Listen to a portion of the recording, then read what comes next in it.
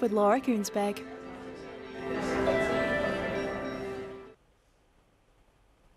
Morning. Times are hard, but Sir Keir Starmer reckons he has the solutions to the country's long list of problems. So does he? Miles ahead in poll after poll, in front month after month. Slowly filling in the gaps on what he'd actually do in power. But will Labour's lead hold when Keir Starmer's sometimes still shy of revealing it all? I know that news about the pay review body recommendations will be on the minds of many public sector workers today. Those recommendations will, of course, be subject to negotiation. I don't think it's helpful for me to wade into that. Not saying yes or no to his rival's attempt to end public sector strikes. Today's offer is final. There will be no more talks on pay. We will not negotiate again on this year's settlements, and no amount of strikes will change our decision. Labour will not promise goodies for all. Nothing tighter than his grip on the chequebook. Instead, he promises change. So, as he joins us this morning, what does Keir Starmer mean by reform or bust? He's here for our final big interview before the summer break. Keir Starmer is live. The Trade Secretary, who also last year at least wanted to be the Prime Minister, Kemi Badenoch, joins us from New Zealand, where she's just signed us up to one of the biggest trading blocs in the world. And forget Wimbledon, what about the Women's Football World Cup? We'll talk to a Matilda, Sarah Walsh, former Aussie football star and a host of the tournament.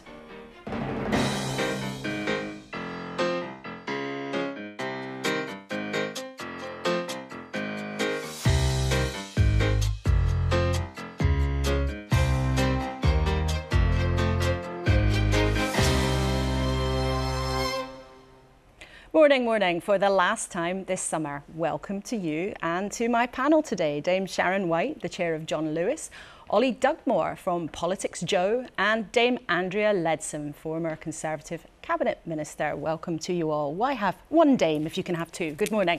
Let's start, of course, with what's making the news this morning. The newspapers all have different takes today. The Sunday Express says there's going to be a £12 trillion Brexit trade boost. Well, we'll talk about that trade deal a bit later.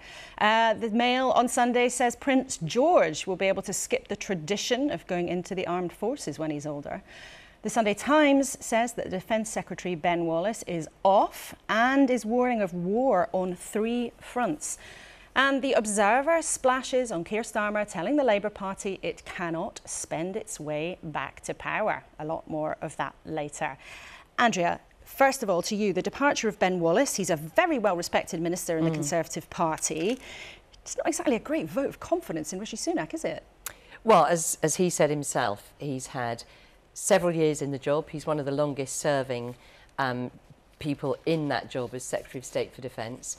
And he feels his time is up, and that's completely reasonable. I think we owe him a big debt of gratitude. He's done a great job at a very, very difficult time. You know, he's, he's really, I think, demonstrated on behalf of the government a real commitment to supporting Ukraine. And actually, when you look back on it, it isn't a no-brainer that we are supporting Ukraine and helping them to fight back the Russians. There is a world in which Russia did invade Ukraine and then what would have been next. So I think UK determination to get the rest of the world, the rest of Europe and the United States to really support Ukraine is in small part due to, to Ben's own determination. But happy politicians don't walk away from big jobs. And there are more than 40 MPs who've said they'll leave the Conservative Party at the next election. I mean, it does give a sense that people are looking at what's on offer and thinking, I don't want part of that anymore. I don't quite see it like that. Um, yeah, I think it is exhausting. You know, I've been an MP now for 13 years, and actually things have changed a lot. Mm. You know, the, the, the harassment on social media, for example, the vitriol in the press. People do get tired of it, actually. And so I, th I think a, a lot of the colleagues who are walking away from it now are just thinking, so no, I want to do something else with my life. Right, we're about yeah. to talk to Keir Starmer. Um, now, Sharon White, you've done many big jobs and you were very senior at the Treasury for some time. He's very clear now, Labour's not going to be a party of big spending. Do you think that's the right course? I think what's um, I think what's interesting is obviously that you know spending is going to be tight whoever's in government over the next couple of years, but I think there is still scope for some big and bold action on whether it's housing, whether it's planning, whether it's education.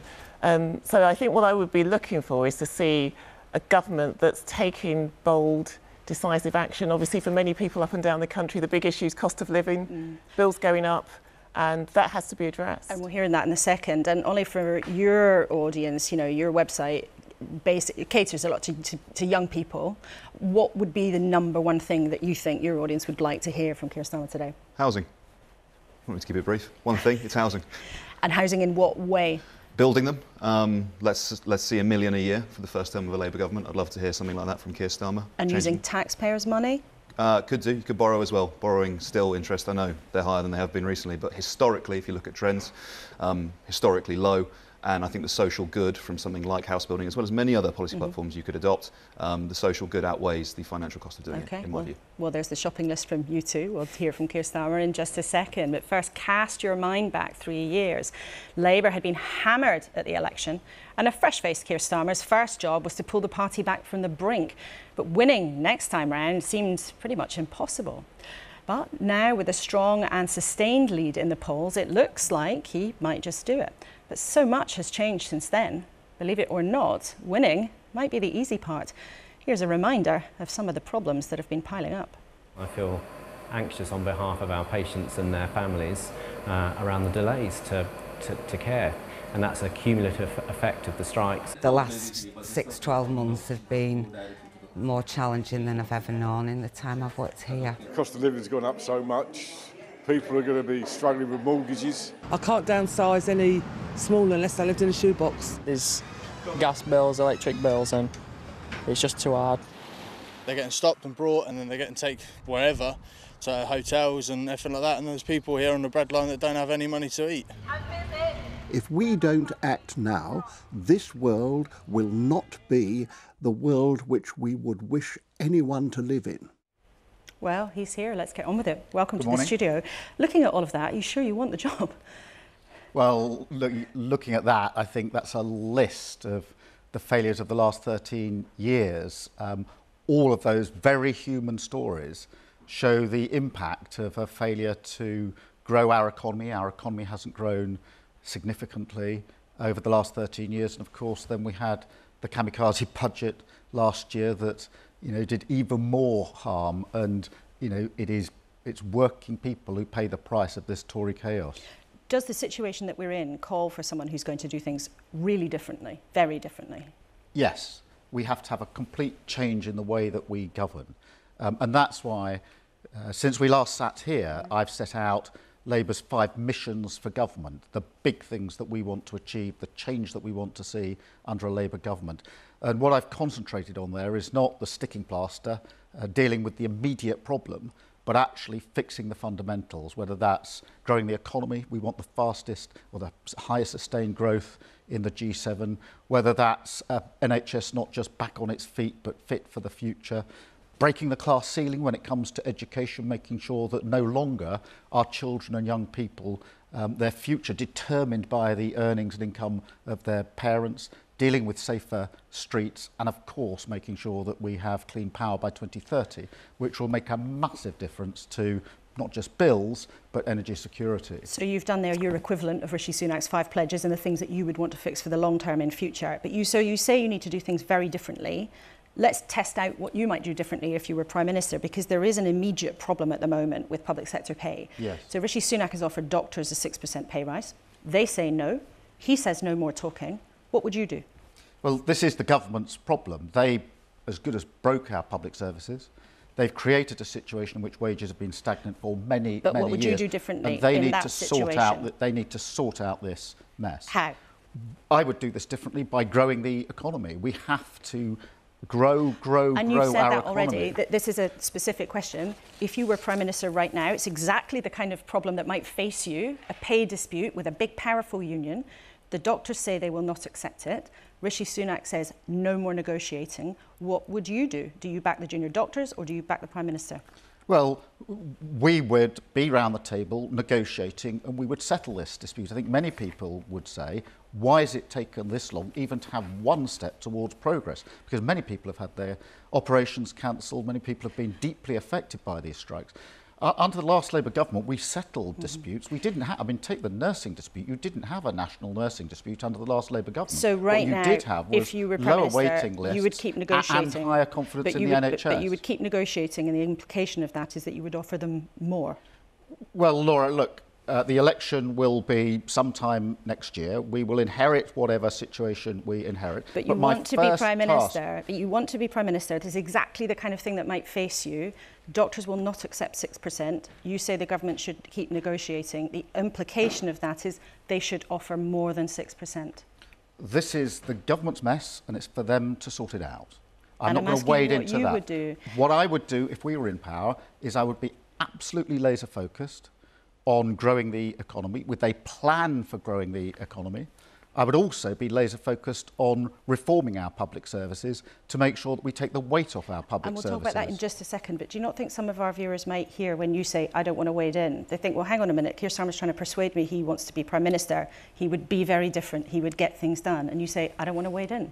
Well, Laura, no leader of the opposition is going to sit in a TV studio saying the precise percentage that they would um, you know, agree in hypothetical discussions. I'm not even in the room for these negotiations. Um, what I would do is approach this very, very differently in government. We would negotiate, but the most important thing is to get to the root cause. The root cause of this is the economic failure of the last 13 years. We've got to turn that around. So let's talk about, as you mentioned there, reform, public sector reform. And you've said this morning when it comes to public services, it is not about money, it is reform or bust. So, can you explain what that actually means in practice? Because politicians like to use that R word a lot. It's sometimes hard to understand what it means. Well, the first thing is economic responsibility and stability. I think uh, anybody who saw what happened to our economy last autumn with the kamikaze mini budget knows that the first rule of politics of government has to be um, responsible economics. And so we will start from that place, but and we will reform because the responsible economics gives us the, the foundation, the platform on which to build, but we reform as well. And we need to reform for a number of reasons. First, it's the failure to reform over the last 13 years that's caused a lot of the problems. Secondly, reforming means that we can move forward at pace, taking advantage of technology, mm. and have a better outcome. I've always been a reformer. I ran the Crown Prosecution Service for five years, um, and I knew that we had to reform. When I arrived at the Crown Prosecution Service, I went out to our offices. This was in the first month or two, and etched on my uh, memory is witnessing a van turn up at one of our offices to take the paper files from my staff to court over the mountains in South Wales. Um, and I thought this was utterly ridiculous and we needed to have a digital file. So we then set about reforming the CPS. But we need to do that with all our public services so that, uh, and wider so that we can actually make the case for the future. But aren't the problems in many of our public services much deeper than having paper sitting around? I mean, people who work in public sectors or people watching this morning might think, well, reform doesn't fix a roof that might be about to fall in in a hospital. We've seen examples of that here in this studio. Reform doesn't take asbestos out of classrooms. What does is money, spending money.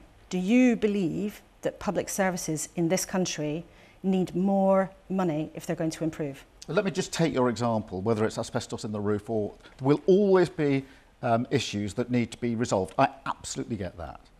But if all we ever do, if our you know, horizon and focus is only on the immediate problems, we will never fix the fundamentals. The NHS is a classic example of mm. this. Every year we have an NHS crisis. Every year we put a sticking plaster on it in about January or February, get to about the middle of the year, um, and then breathe because less people are using the health service in the summer, and then we go back into another health crisis. We've got to break it. My missions are about breaking out of that. Um, the reform we need to make will make a massive difference. And bold, but you can have bold time. and reforming. But reform takes time. And I don't think anybody watching this would think, yeah, you should just do things the same way forever and ever and ever. But reform takes time. And right now, we know in many situations in parts of the public services, there are problems that are immediate and real and costly to fix. So I'll ask again, do you think that public services in this country need more money if they're to improve? Well, a Labour government always uh, will invest in our public services. That's what we question. did in record. Would a. Labour government spend more money on public services? Labour governments always invest in our public services. But I don't want to lose this point, Laura, because one of the big problems of the last 13 years is that there hasn't been any long-term thinking. There hasn't been the reform to go with it. If, take the NHS. Uh, the strains on the NHS are very different to the strains 75 years ago. So we have to reform and change the NHS so it's fit for the future. If all we do is simply patch up and keep going, then we won't fix the But I want fundamentals. And that's why you on this reform is so important. And, and nobody watching this, I think, would say reform things shouldn't, don't need to change. But I want to press you on this specific point because people in your party want to know, people who work in the public services want to know, would Labour government spend more money on public services? Do you believe, after years of saying austerity has damaged the public sector, do you believe that part of the answer has to be more money? Uh, a Labour government will always want to invest in its public services. That's not an answer that- to my question. Well, the way to invest in our public services is to grow our economy. Let me give you the example of the last Labour government. We've now had 13 years of this government, more or less. We've had 13 years of the last Labour government. Last Labour government grew the economy and had tens of billions of pounds more to spend on our public services. That's what I want to replicate, to grow our economy, so we've got that yield to put into our public services. But that has to start with responsible economics and it has to be coupled with reform. There are so many things that need reform. Earlier in the discussion, the, you know, two of the panelists saying housing. Well, we've got to reform. If we want to do house building, we've got to be tough enough to deal with planning, which is holding back housing. We are prepared to be tough on, on planning to make sure we get the houses that we need. But you raised that example, and your Shadow Chancellor, Rachel Reeves, told us in that chair last week that they wouldn't spend taxpayers' money on building houses. And lots of people think that has to be part of the answer. I talk to lots of house builders um, and ask them, what's the problem with house building? And they say, Keir, it's two things. First, Rishi Sunak has taken down the targets for housing. So house building is going to drop, likely to drop to the lowest level since the Second World War. And secondly, they say it's a planning problem. We can't get through the planning. It takes too long. It's too cumbersome. And therefore, we can't get the houses that we need in the places that we need them. We've got to fix that. And we're determined to carry out that sort of reform. Equally on reform, um, on uh, clean energy by 2030. And you put to me quite rightly the challenge of that there are immediate problems that people have to deal with. Energy bills would be one of them. But insulating our homes has been something which we knew 10 years ago we needed to do. The government stopped all that when David Cameron said he wouldn't have any more green crap. And now people are paying more money for their homes than they would have been if we'd got on with it. So if all you ever do is the sticking plaster, the short term, don't fix the fundamentals, then we won't improve our country going forward. And you've made it very clear that you want to make those long term changes, and in the short term, there isn't going to be the spending taps turned on. You've made that very clear. I just wonder would you be relaxed about someone calling you a fiscal conservative? Well, I'm a responsible Labour, uh, you know, politician, and I want a responsible Labour government. So it's but not if someone said, you know what, Keir Starmer, he, he, he's very clear, you have to grow the economy before you start spending loads of money, that means he's a fiscal conservative. Would you have a problem with that? I, I, don't really want to get into the discussion what other people might call it. I want to explain my position, which is what I'm asking that question. It's an interesting point because a lot of people in the Labour movement, union leader Sharon Graham from Unite was very vocal over the weekend, saying she wants you to be more ambitious, Yeah. she wants you to put more money in. Would you be relaxed about someone saying that you're a fiscal conservative? Well, look, I don't mind what label people put on me. I do want to make my argument. My argument is this. Um, what was absolutely plain from last year's mini budget was if you lose control of the economy, it's working people who pay. Go back to your opening shots, that list of people, women saying, I've downsized so much, I, I have to go to a shoebox next. I was in Selby at the beginning of the by-election campaign, spoke to a woman called Alice, she's got an 11-month-old uh, baby. They'd just got a house that they were going to move to near her parents so that there could be help with the babysitting, etc. The mortgage went up, mortgage rates went up, she can't afford it, she's now stuck. These are human stories. So I start with responsible economics because if you lose control of the economy, it's working people who pay the price. That does not mean we can't have a bold and reforming Labour government if we're prepared to take the tough decisions in relation to reform, decisions that haven't been taken for many, many years. So let's have a think then about a few specific things that that Labour government you want to form would do. Um, if you have more than two children at the moment, you don't get benefits. Would that change under a Labour government? We're not changing that policy. You're not changing the two benefit child two child policy benefits. Okay, housing benefit has been frozen since 2010, while rents have gone up and up and up. Would you unfreeze housing benefit? Well, we will set that out closer to the election, Laura, when we set that out. You won't commit cost to that and now? spend. I'm not committing to that here. I'm not writing our manifesto here. Would a Labour government look at the inflation target at the Bank of England? There's been some suggestions it should go from 2% up to 4%. Would you look at it? Well, again, that's something I think for us to address closer to the election. We've got probably two, maybe three fiscal events before the election. Mm-hmm. Um, we need to wait until we see what the so state of the economy that could is. be on the table because a lot of economists are very interested in whether that target might have to move. Well, look, I'm not making policy here in the studio, Laura. We will, uh, as you would expect, wait until All the fiscal events before the election are there and clear, and then we will be absolutely transparent about what we will do. And would you, as Ollie Dugmore suggested, have a target of building a million homes a year to crack housing shortage in this country once and for all? Well, I've got a massive ambition when it comes to houses. I'm not going to put an arbitrary figure on it, but we need hundreds of thousands more counts, uh, uh, houses. I don't shy away from that.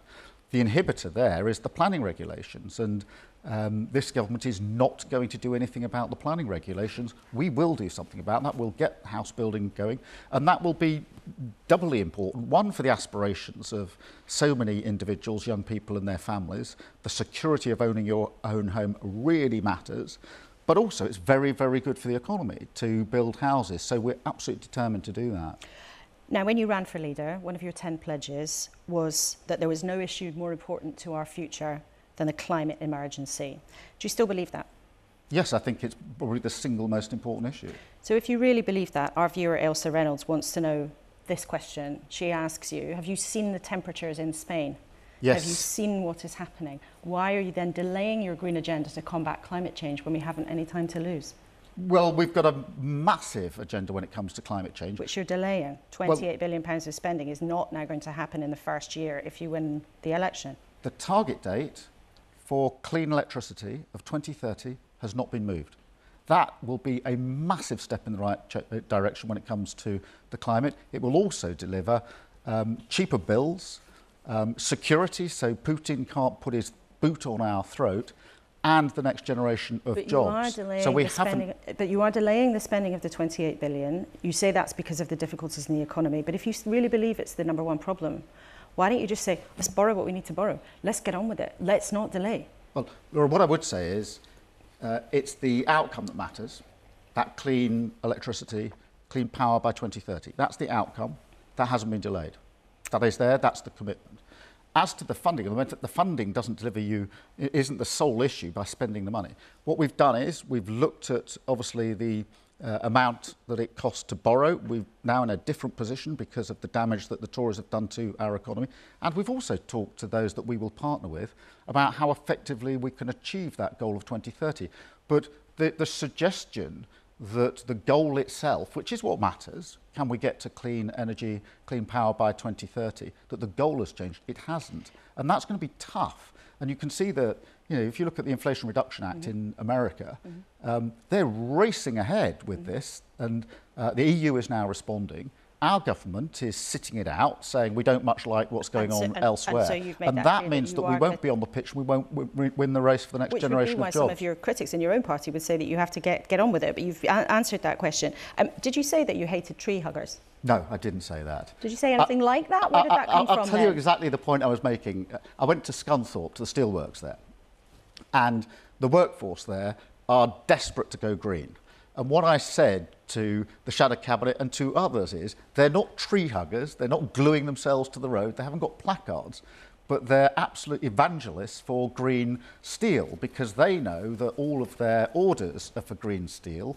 They know that their jobs depend on going green and the jobs of the next generation in steel. And they said to me, what we need here is one, uh, a leader who understands this. We need a plan to go to electric furnaces, which we can do in three years. We need some match funding. And then they added this, which was really important. They said that in Scunthorpe, they thought they could get there by 2027, but the grid wouldn't then connect them till 2034. So you don't and so there for me was a, a sort of practical explanation of the change that an incoming government. I'm determined to get to grips with the planning, with the And- green and steel, that point. So the you don't- grid you to don't- make sure that we can actually So- preserve so you've those made the jobs point and have that- the that you don't hate So I was simply you- saying they're not, you know, this workforce, you can imagine the Scunthorpe steel workers, they're not, they're not tree huggers, but they are very, very determined to go green. And you've said before, so you don't hate tree huggers, but you've said also that you don't approve of how Just Stop Oil, the protest No, I group, don't. behaves.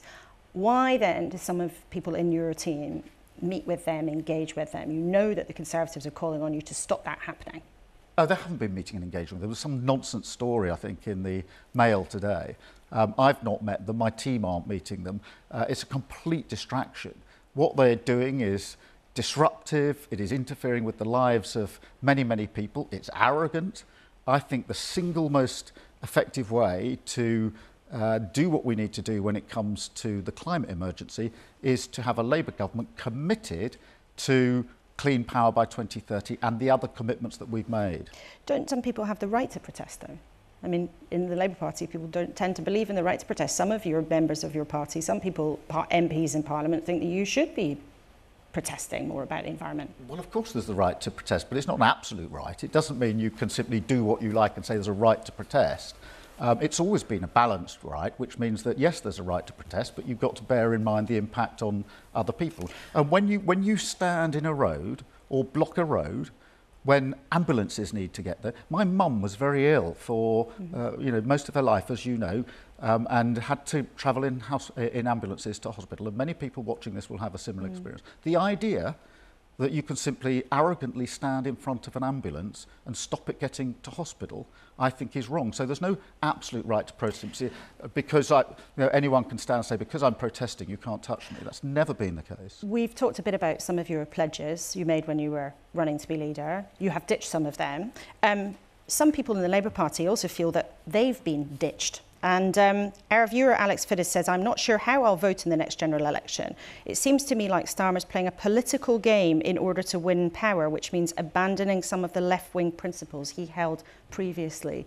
What do you say to Alex and what do you say to people in the Labour Party, like the Mayor in the northeast of England, Jamie Driscoll, who's been told he's not welcome, other well-known activists like Neal Lawson, who's under investigation? I mean, you're ditching people as well as ditching policies, aren't you? Right, I reject that. I reject that. I made a central promise to the Labour Party when I stood to be leader. That central promise was if you elect me in as leader of our party, I will turn our party, I will change our party, and I'll make sure that um, we can head into the next election and we can win it, that we're electorally credible. That was my central promise to the Labour Party. And every day I've been leader since then, I have been changing the Labour Party to put us in a position where we are now credible contenders and for the next election. And that ruffles feathers, is that worth it to you in order to have a chance to govern. Of course. The Labour Party was created to give working people not just representation in Parliament, but a government in Parliament that can govern on their behalf and change the lives of millions of people for the better. And you have made very significant progress. You know, as we said at the beginning, when you became leader, many people believed the idea that Labour would be on course to win the election. well, they shook me by the hand or and said, surprised. good luck, but you're never going to do it in five years. So where do you feel you're at now on this journey? And can I ask you, you know, what do you feel might go wrong? You know, you've been ahead for a long time, a solid and Yeah. sustained lead. Well, look, uh, as you know, I've always seen this uh, task in um, sequential steps. The first thing we needed to do was to change the Labour Party. If you lose as badly as we did in 2019, you don't look at the electorate and say, what on earth were you doing? You look at your party and say, we need to change. And we needed to do that first. And of course, I had lots of people then saying, go faster, be bolder. I knew we had to do the change. The second bit is we had to expose the government as not fit to govern. Obviously, we've been ably assisted in that by the government itself. The next stage, the stage we're on now, is if not the government, then why you? What's the case for change that you're putting to the country? That's what we're setting out in the missions that I've set out since the beginning of the year. And at this moment- setting out what the change is. At the moment, I would say we're we're confident but not complacent. Um, and the biggest danger is complacency.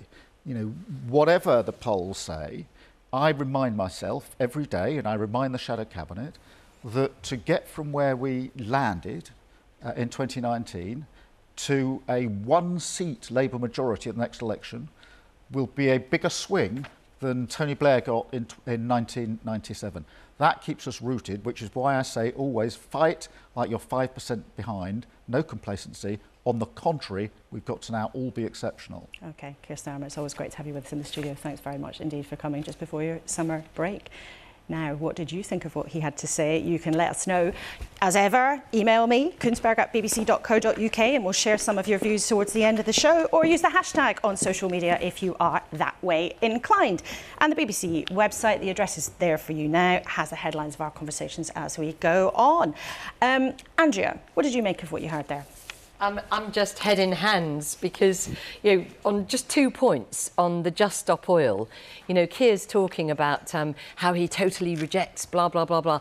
But they didn't back, they voted against time and time and time again in the House of Commons when we were trying to create new laws to enable the police to stop those people gluing themselves to the road so that his mum and other people's mums can get to hospital. So it's like saying one thing, doing another. It's this flip-flop thing. And look at the green energy. You know, what he's actually proposing is to no new oil and gas licenses. So what that does unless he, he's, he's putting all his bets in one area, you lose jobs by doing that. You also create massive energy insecurity during this transition, and you leave yourself vulnerable to gas imports. What, what from Russia? What, where, where does he want us to get that from?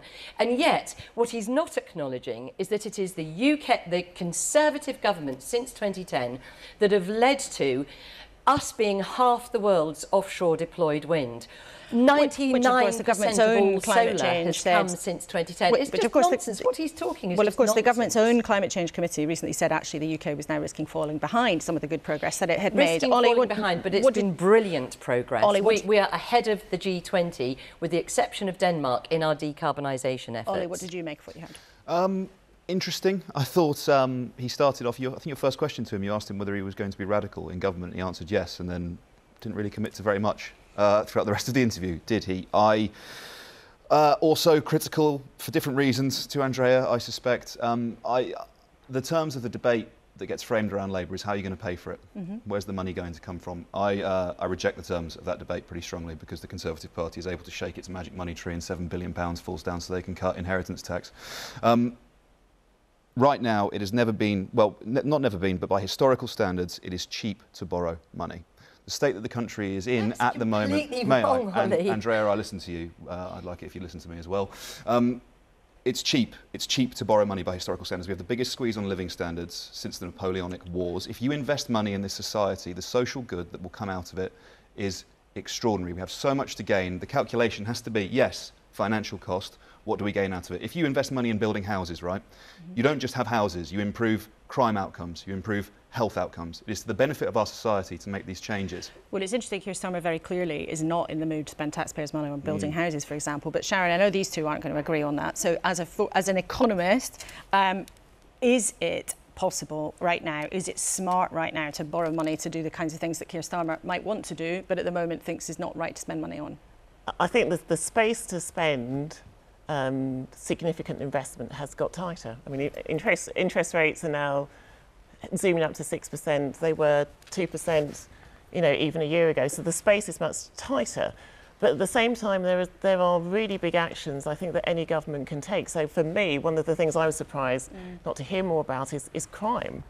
Um, crime linked to the cost of living. So, you know, the John Lewis Partnership were a big retailer, 74,000 partners or employees one of the big issues for them is partner safety. So shoplifting has gone up 26%. 26%? 26% in the last year. So it's a sort of crisis that's hiding in plain sight.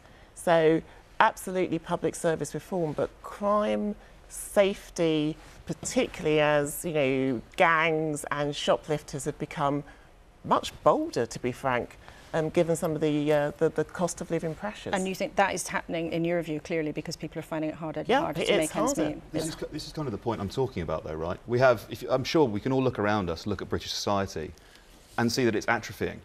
It's decaying. Shoplifting is increasing. All sorts of crime statistics are through the roof. You know, um, you could talk about serious sexual offences. You know, the rape conviction rate appalling. Right? Things in this society aren't working, and we can either sit here and say, right, well, interest rates are pretty high, so maybe we can't borrow enough money, or we can actually have the courage and the conviction to try and improve society for the better. Do you want to be a political leader that leads, or do you want to triangulate and say, well, can't really and borrow? And do you think that the demographic that you understand best, Oli, is looks at Keir Starmer and think there's a leader?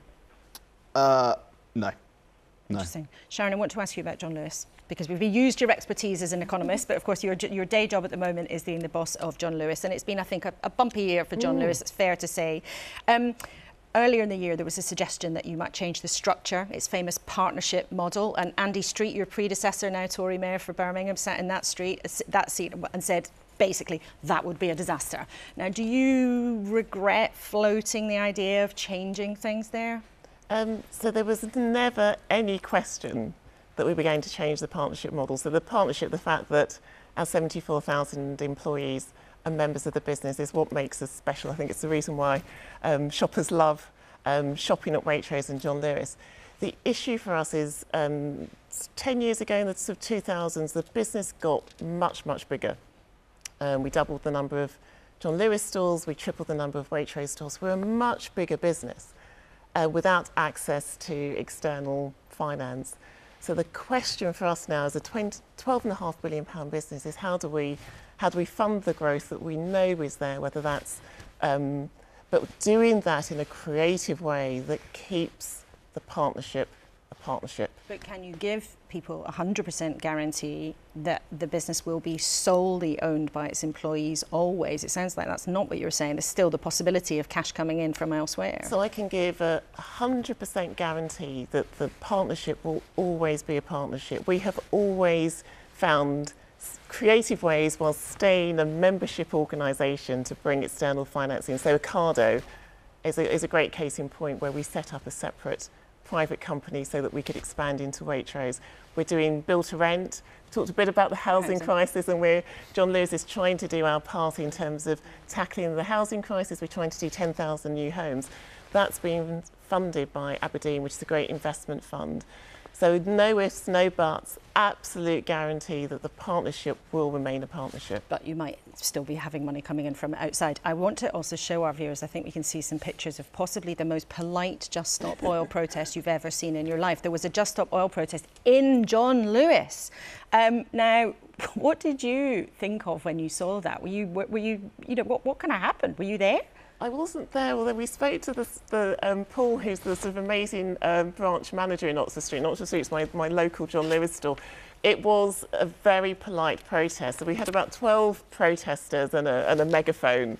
And I think at some stage, either one of the partners or customers asked the, the, the Just All protester with the megaphone to stop um, um, to stop blasting, and they stopped. And I think most customers just sort of continued in quite a sort of Having blasé. kind of British polite It was very to British. protest. Andrea, briefly, what do you think when you see those pictures? I mean, they're not radical people disrupting people. They're, they're standing quietly in John Lewis. Absolutely, and you know, I firmly believe in the right to protest, but actually, what we've seen in recent years, I mean, as Oli says, you know, the whole age of kind of courtesy and being, you know, allowing other people to get on with their lives. I mean, I, it basically goes back to the fact of do you have the right to protest over and above someone else's right to go to work, to get to hospital, to go about their life? And in, in my view, the answer to that is no. But a quiet protest like that, you know, maybe. Goodness me, they, they weren't even blocking people getting to the towels. They were just standing there very politely. Okay, all three of you, thank you very much indeed for now. We'll be back with you a bit later in the programme. Now, we've just heard from someone who wants very much to be Prime Minister.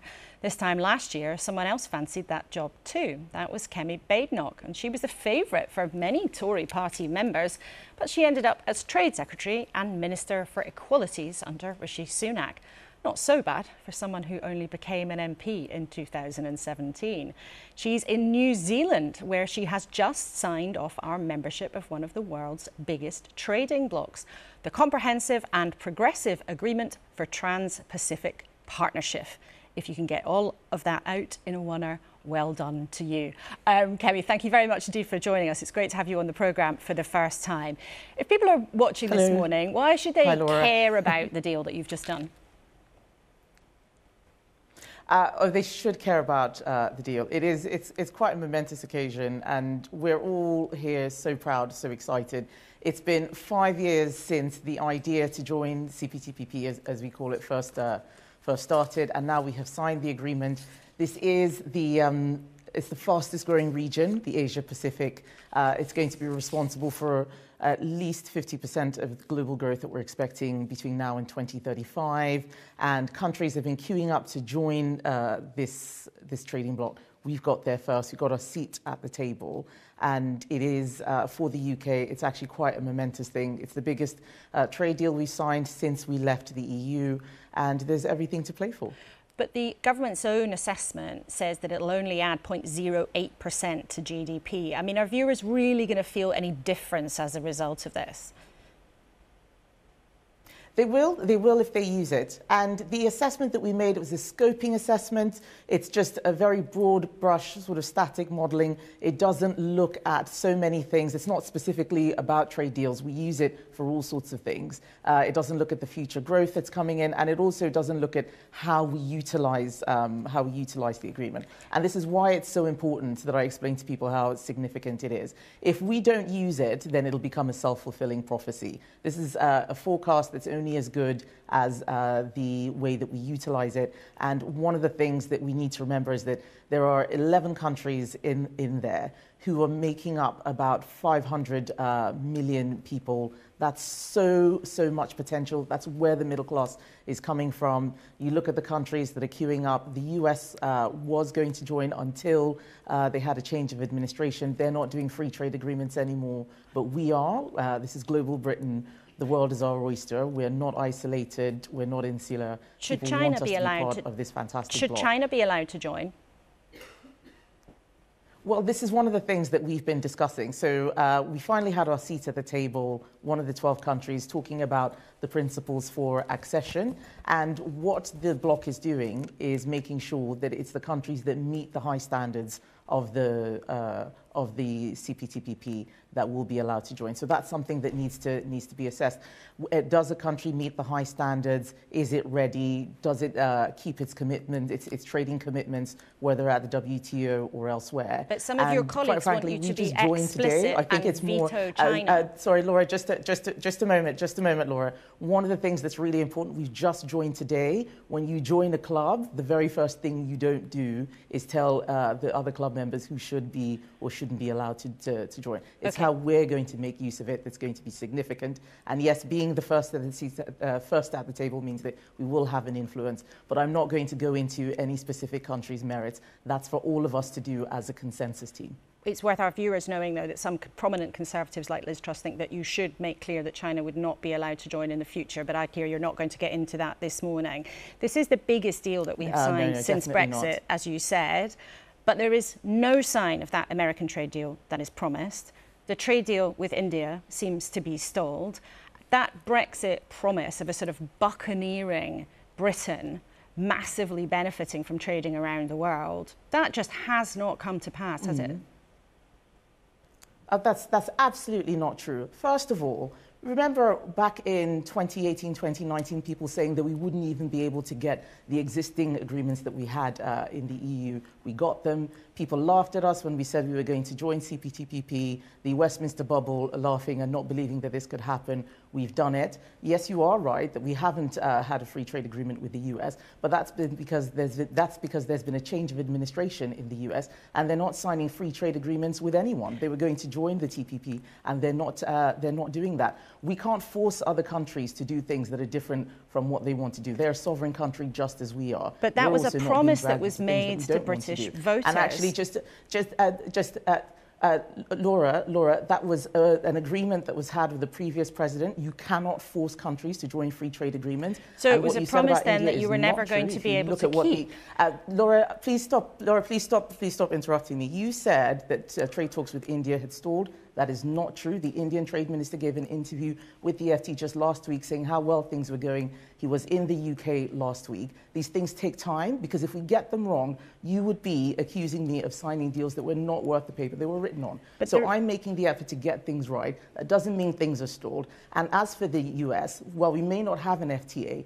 We have other things that are going on. Economic security arrangements. You look at what the PM did with the Atlantic Declaration. You look at the trade dialogues we're having. A lot of the things that we're doing on security with Five Eyes around the world. There's so much that you can do outside an FTA. And what we're doing is making sure that we continue to build a closer, stronger relationship with those countries. And so that, I think, is what people can see uh, now that we've left the EU. And I think it is uh, impossible to ignore the significance of CPTPP, which is a great benefit of leaving the EU, given that we still have an EU free trading agreement. And that is an important deal, and we are dealing with a delay on the line. So we should just explain that to our viewers. It's making the communication slightly different.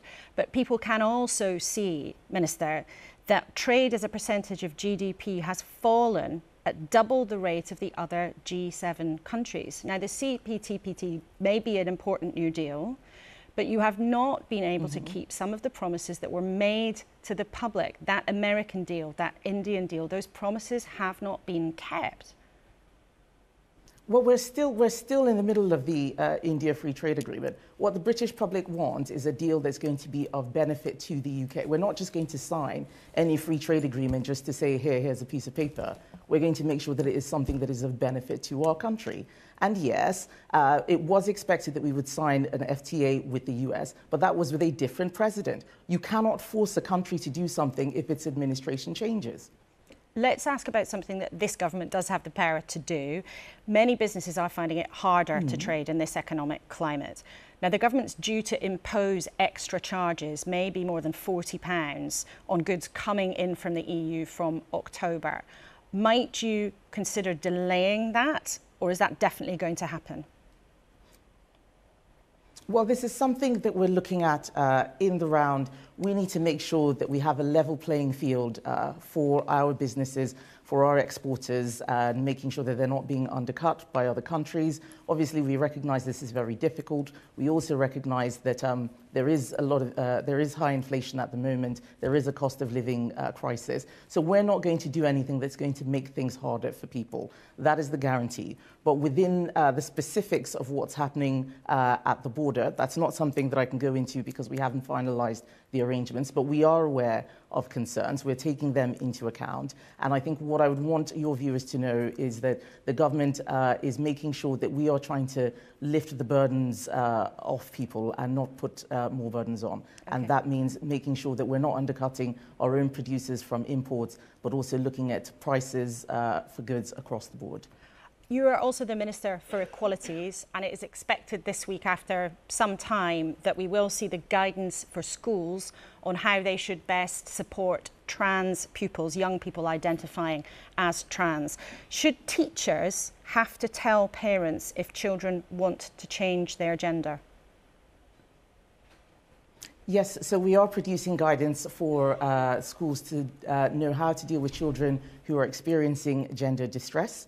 And I can't go into the specifics of what is going to be in the guidance, but what you can uh, let your viewers know, what your viewers can be reassured of, is that we're doing everything we can to bring clarity. There is quite a lot of confusion about what the law says, and it is important that parents are aware of what's going on with their children and what's happening to them at school.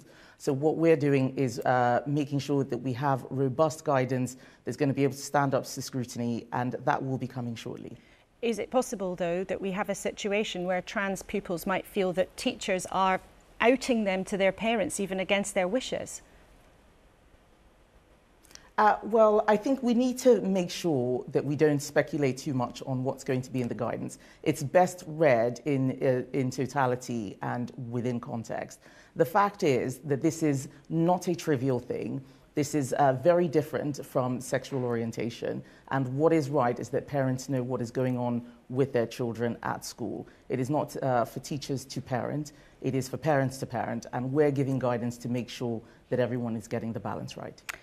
Um, reports yesterday suggested that the Conservatives might look at scrapping inheritance tax. Um, would you support that? I think this is uh, the usual tax speculation there are always people who have uh, suggestions about what we can or may do on taxes. The fact is, it's the Chancellor who does those, uh, who makes those decisions. He will do, make decisions at a fiscal statement. I can't comment on inheritance tax. It's not something that I am currently working on. What we are focusing on is bringing down inflation. That is the thing that is having the most impact on people's disposable income. And just lastly, we were talking to Keir Starmer earlier about why he wants to be Prime Minister. And this time last year, you wanted to be Prime Minister and you were very popular among Conservative members. Do they still tell you they'd like to see you in number 10 one day?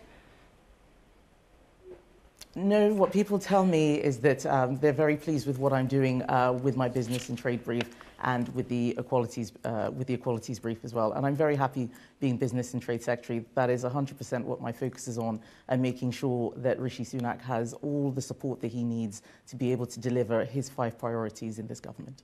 Kemi Badenoch, thank you so much for joining us all the way from New Zealand. It's great to have you on the programme for the first time. Hope we see you Thank back you, here Laura. soon. Thank you. Now, also down, down under, the Lionesses are there getting ready for the Women's Football World Cup, which is about to start in New Zealand and Australia. Here they are training in Queensland, hoping to repeat their amazing victory in last year's Euros.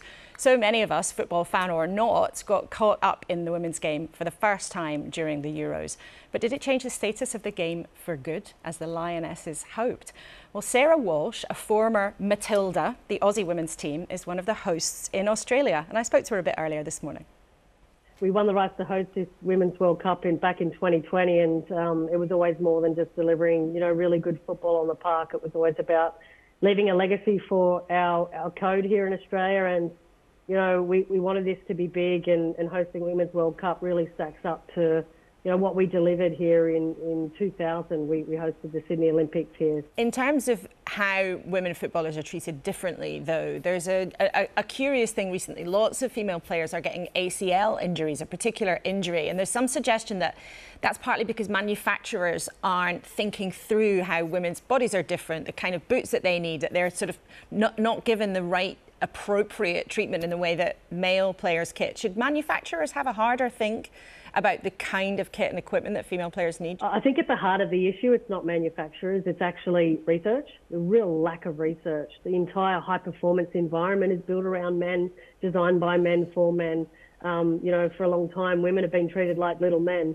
Um, you know, I would have loved to have known if my menstrual cycle had have contributed to any one of my knee reconstructions, um, you know, and I think until we better understand, you know, how women's biology is different, how do we know uh, that our hip structure isn't different and that we should be something different in our prehab? And we haven't even scratched the surface, and it's 100 years under investment in women's football has put us in this point where we've lost a number of different players for this World Cup, which is a shame we won't get to see them. But um, yeah, it's it's something that we really need to invest uh, in research. In terms of the tournament itself, so the Lionesses and the Matildas, the Australian players, are not in the same group to start with, but of course they might meet further down. I've got to ask you, who would win? Oh, look, I'm not going to speculate on, on that match. I'd love, as a, as a spectator watching the game, I think that'd be way too early for these two powerhouses to meet. And, you know, going off the previous match, I think that um, they learn a lot from that match. And, um, you know, if, if we do come up against them, I think fans would absolutely love it. And there is now going to be these matches on some on ITV and some on the BBC, but the time difference for viewers in this country is quite tricky. If if people might be thinking, you know, I'd just rather get my head down and stay in bed, why would you tell them to set the alarm to watch this tournament? We're in this really fascinating place here with women's football. It's starting to break new ground and challenge the status quo, and you would have seen that with you know, the broadcast rights. Uh, FIFA is a, a rights holder. You know, in many of the, the big markets in Europe, they held their ground to, to really extract the right value because if we continue to, to undersell these rights, you know, the ecosystem won't, won't correct around it. And I think, you know, I think that's really interesting. We're in this moment where women's sport and these female athletes are breaking new ground. And I think there's other industries that will benefit from this change. Sarah, thank you so much for joining us this morning. Enjoy the tournament very much. It's great to have you on the show. And we've had a few little gremlins with our sound, talking to people down under on the other side of the world. But Sarah Walsh, there, one of the hosts of the Aussie Women's World Cup. Good luck to all the teams. The first game is on the BBC next Saturday. Now, it is nearly 10 o'clock, and remember, we started the programme asking what kind of Prime Minister Keir Starmer really wants to be. Last Labour government grew the economy and had tens of billions of pounds more to spend on our public services. That's what I want to replicate, to grow our economy, so we've got that yield to put into our public services. But that has to start with responsible economics and it has to be coupled with reform. Growth first, spending next was his message. So, what did you think of it? Well, James Stevenson wrote Keir Starmer doesn't have any answers to anything. The answers to the doctor strike today is not to grow the economy tomorrow. Brian Kirk said it's no good building houses if the people who need them can't afford them. We need reform of the way people pay for the houses they want to buy. But Colin says, I don't want houses built near me. My town has grown by 30% in the last 10 years. A flavour there of some of the classic dilemmas when politicians look at the housing shortage. Um, Sharon White, I firstly want to ask you about Kemi Badenoch signed the UK up to a big new trading bloc. Will it make a difference to the economy? I think it's obviously a positive. I think, as you said in your discussion, it's not, you know, it's not going to be a gangbusters, gangbusters substantive shift.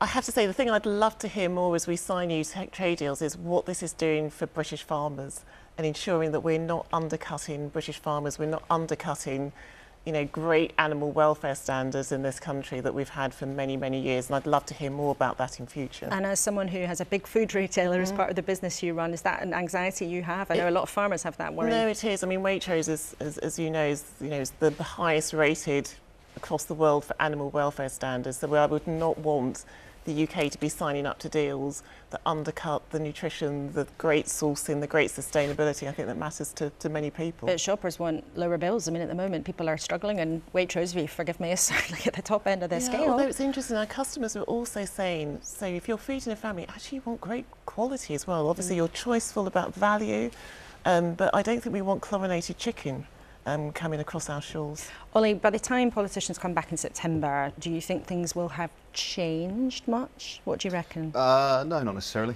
Uh, I, listening to Keir Starmer there, I heard quite a lot of orthodoxy, growth, jobs, economy. Look around you. Has orthodoxy got you anywhere? That's what I'd say. In terms of, what do you mean by that? Well, the language that he uses of difficult decisions, uh, it's sort of aping the Conservative Party, right? And the economic orthodoxy of the last, well, probably since post-Thatcher, right? We live in Thatcher's Britain, her economic settlement.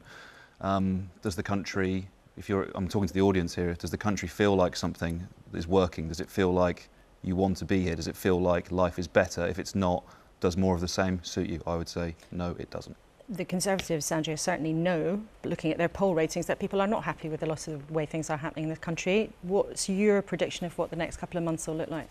Well, what, what's for certain is that the Prime Minister is completely focused on his top priorities, which are halving inflation, getting the economy growing, getting debt reducing. I was wondering if you were going to do getting NHS down, and also stopping the small boats. And that combination of priorities actually will turn things around. We are we have faced the most well extraordinary. So well, but we have faced the most extraordinary last few years with the COVID pandemic and with uh, Putin's invasion of Ukraine. And yet, the UK in real GDP terms has grown faster since 2010 than any comparable EU nation, France, um, Spain, Italy.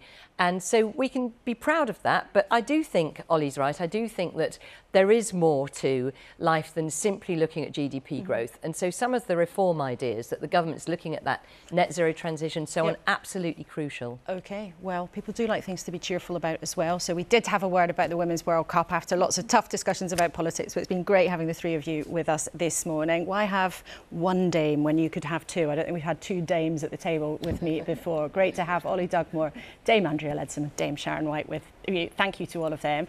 And thank you, of course, for watching, not just this morning, but as we leave you for the summer break, thank you for watching for the last few months, for all your emails and messages and your company every Sunday morning. It's been a spring and summer where the Tories have not been able to catch a break and Labour has stayed way out in front. Remember, the Lib Dems and the Greens picked up momentum in those local elections not so long ago, while in Scotland the SNP has fallen into real trouble. But more than anything else, though, the profound problems of the economy have been laid bare, and the questions about who has the ideas to help the country make a living are only going to get louder. Until September, there is tons you can watch back on the iPlayer, maybe our encounter with Arnold Schwarzenegger, the Prime Minister, or Keir Starmer from this morning. We will be back on the first Sunday in September, so stick it in your diary. And then I will see you same time, same place. Take care and goodbye till September.